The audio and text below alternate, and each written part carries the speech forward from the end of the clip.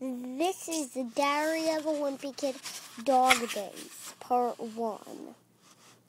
For me, summer fiction is basically a three minute guilt trip.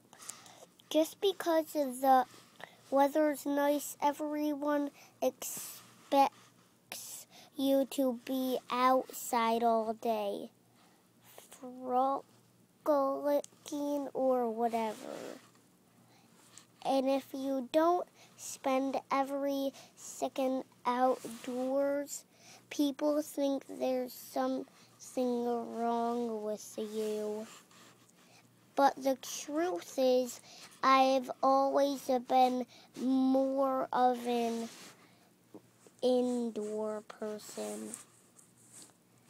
The way I like to spend my summer fiction is in front of the TV playing video games with the curtains closed and the lights turned off.